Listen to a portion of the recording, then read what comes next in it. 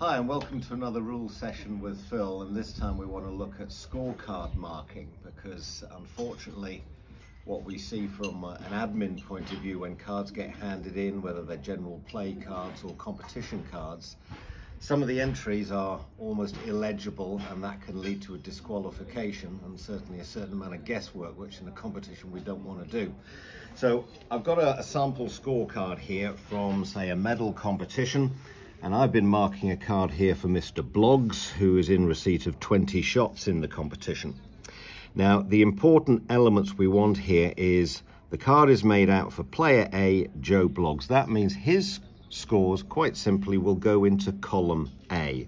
Apart from the marker's score, there's no other entries need to be made in B, C or D.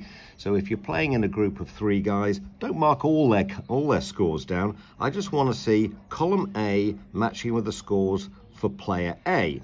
And that's the way the completed card is going to be. If you're playing in a Stableford, you add the points in the end column here. As a player, you are responsible for the entry of the gross scores per hole. You're not actually responsible for the points entry, although that is useful from an admin point of view, but it's the gross scores on each hole that you are responsible for as the player. So once Mr. Bloggs has checked this through, I've signed as marker. He will then sign it as a player, making sure the scores are accurate. The score entries per hole are legible, so from an admin point of view, that can get entered into the system nicely, and everything's clear.